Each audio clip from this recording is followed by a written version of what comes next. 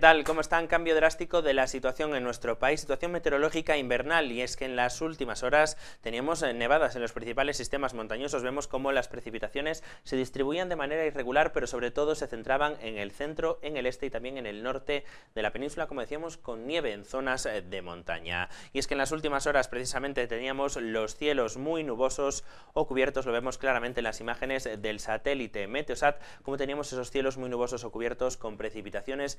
sí algo menos de nubosidad en el suroeste peninsular en las últimas horas, y es que esa dana o depresión aislada en niveles altos se irá transformando en una borrasca fría y se trasladará hacia el noreste peninsular de cara a las próximas horas y en los próximos días, y con ella se irá trasladando también la inestabilidad, y es que vemos precisamente clara la evolución de las precipitaciones, como hoy se centran en el norte y en el este peninsular, pero poco a poco con la evolución de esa dana hacia esa borrasca fría se trasladarán hacia el noreste, se intensificarán las precipitaciones y afectarán sobre todo a puntos de Cataluña de manera intensa. Por el momento, en la jornada de hoy, activos avisos por nevadas copiosas, por ejemplo, en el sistema ibérico, donde se pueden acumular más de 20 centímetros de nieve por encima de los 800 metros y también precipitaciones intensas hoy en el norte de la comunidad valenciana, con acumulados que pueden superar los 20 litros por metro cuadrado en una hora. Por tanto, hoy precisamente precipitaciones prácticamente generalizadas en toda la península ibérica y también en Canarias. Podremos tener algún chubasco en las islas más occidentales con ese descenso de las temperaturas máximas en el norte peninsular destacar, por ejemplo, esos 8 grados de Valladolid